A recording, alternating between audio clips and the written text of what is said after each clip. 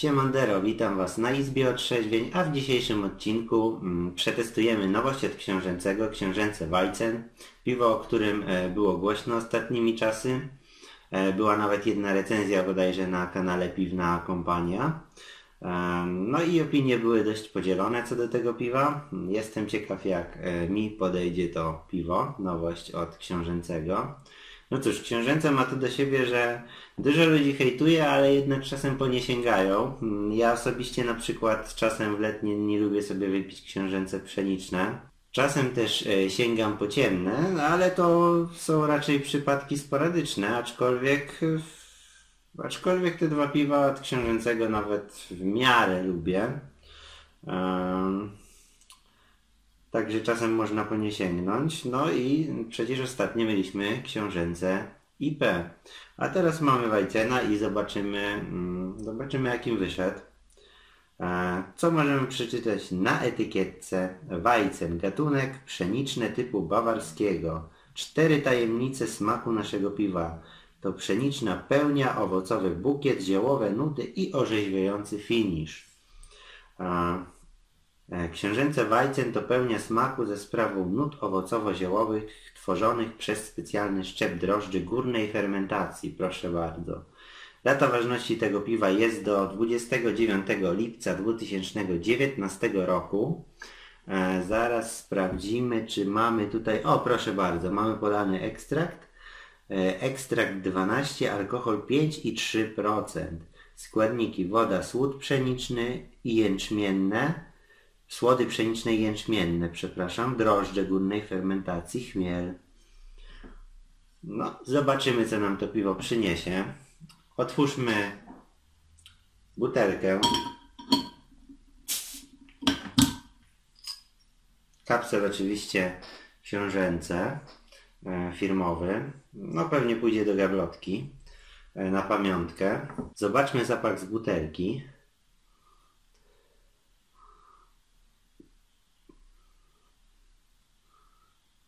No, powiem Wam zapach przyzwoity. E, czuć goździki, czuć banany, czuć drożdże. Czuć pszenicę, rzeczywiście, czuć pszenicę. Jest taki lekko kwaskowaty zapach właśnie.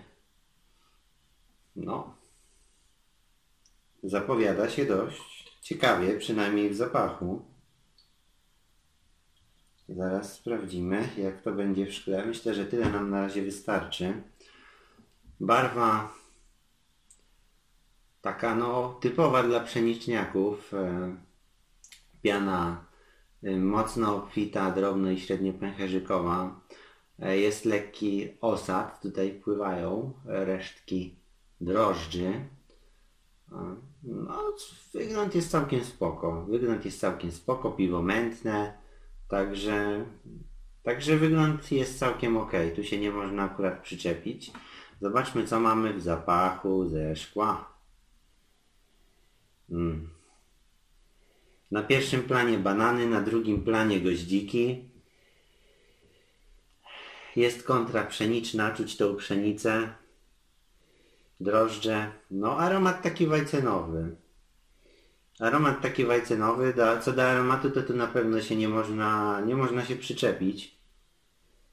Powiedzieć, że coś jest nie tak, bo, bo jest całkiem przyjemny. Nawet mógłby być ciutkę intensywniejszy, jak dla mnie, ale generalnie jest ok.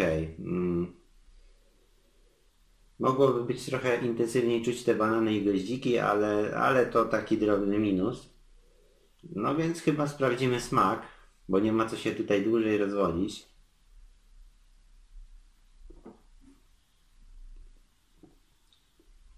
Hmm. No, smaku już nie jest tak różowo niestety.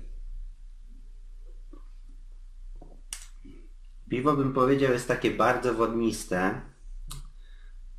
Czuć pszenicę, jest lekko kwaśne. Czuć te goździki. Mm. Banany, bananów już tutaj nie wyczuwam.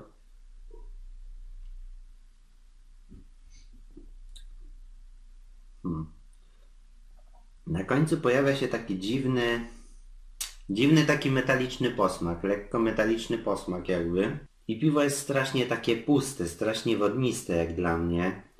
E, no i to nie jest zbyt, e, zbyt przyjemne połączenie. Nie jest to zbyt przyjemny jak dla mnie. Gdyby trochę było takie bardziej bardziej takie treściwe trochę, bardziej takie właśnie zbożowe, bo tutaj już w smaku mm, właśnie jest ta wodnistość, jest kwaśno, czuć te goździki, a pszenica jest tak właśnie na dalszym planie i to to właśnie powoduje poczucie takiej pustki, że no nie jest, nie jest za fajnie.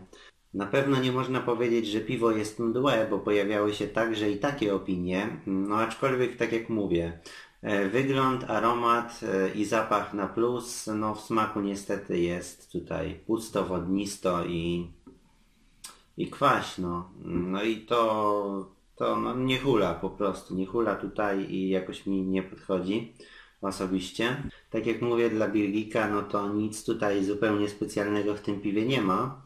E, także osobiście jestem na nie. Mm, jeżeli piliście to piwo, to oczywiście tradycyjnie dajcie mi znać w komentarzach, jakie mieliście odczucia. I myślę, że to by było chyba wszystko w tym odcinku. Mm, zostawiam Was z tą recenzją do obejrzenia. E, napiszcie mi swoje opinie. Także trzymajcie się i do zobaczenia.